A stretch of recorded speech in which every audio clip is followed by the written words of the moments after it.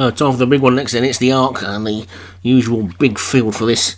And wide open race. I think Group 1, mile and a half, of course. Fugitive Demand at the top for Leon Van Rensburg. Funny Ben, David Hooley, Oceans of Ages, Darren Thompson, Own Reflection, Craig Allen, The Grey Gatsby, Dan Hughes, Time to Shine, Craig Beckwith, Double Chest, Darren Thompson, Funny Angel, David Hooley, Global Sail, Craig Allen, Golden Clouds, Leon Van Rensburg. That's probably their favourite. Meghan Markle, Dan Hughes, Future Treasure, Craig Beckwith, Iron Mike, Paul Rhodes, King of Casban, Padraig Hogan, Kinshasa for Satyam. Could be a fly in the ointment, that one. Kivorsky for Paul Rhodes. Mix of Intrigue, Joshua Sutherland. Storm Murmur, David Robertson. And Bella Brandy for Joshua Sutherland.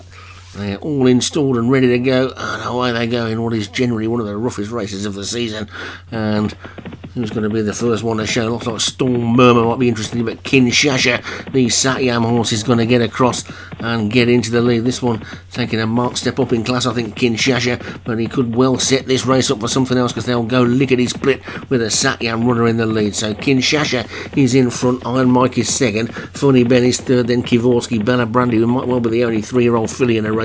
Looking towards the back, Meghan Markle is the early back marker, but it's Kinshasa that leads the arc field as you'd expect then turning around this turn with Funny Ben and Iron Mike second and third, then Bella Brandy and Golden Clouds, and then Kivorsky and Oceans of Ages and Funny Angels, King of Casban is on the rail looking towards the back. The Grey Gatsby and Meghan Markle are the back two, but there's still a mile to go and they're going pretty quick. And Kinshasa is in the lead. Iron Mike is second. Golden Clouds has now poked its head through into third. Kivorsky's next. Bella Brandy running wide on the track. So too is Future Treasure. Time to shine is towards the back at the moment with the Grey Gatsby and Meghan Markle. Fugitive Demands also got more in front and behind, but it's Kinshasa who leads by three lengths to Bella Brandy, really wide on the track. Global Sail on the inside is coming through now to take a share of second. Then Funny Angels and Oceans of Ages. double chest is well placed as well, but it's still Kinshasa in the lead. But now Bella Brandy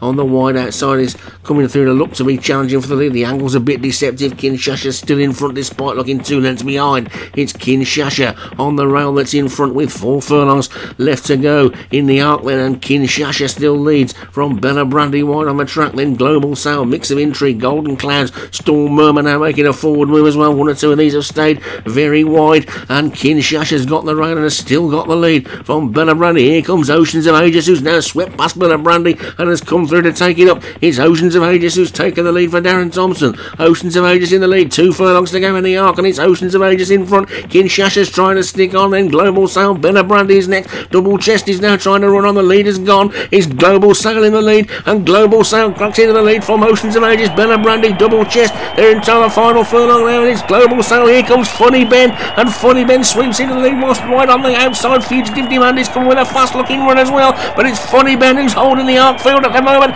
and Funny Ben looks like he's going to take the arc racing to the line. Funny Ben's won it own reflection, Fugitive Demand, double chest, Global Sail, and all the way back to Meghan Markle, just didn't get going at all today. And David Hooley has taken the arc. And I'm not sure he was expecting that because I don't think Funny Ben's been running well all season, but he's not really been beating a lot of these. And Funny Ben has just caused a bit of an upset, I think, in the arc. Maybe thanks to Satyam. So Funny Ben Ford, David Hooley, the winner. Own reflection for Craig Allen second. Fugitive Demand Leon Van Rensburg third. Double chest Darren Thompson fourth. And Funny Angel for David Hooley was fifth. So a really good arc for David Hooley.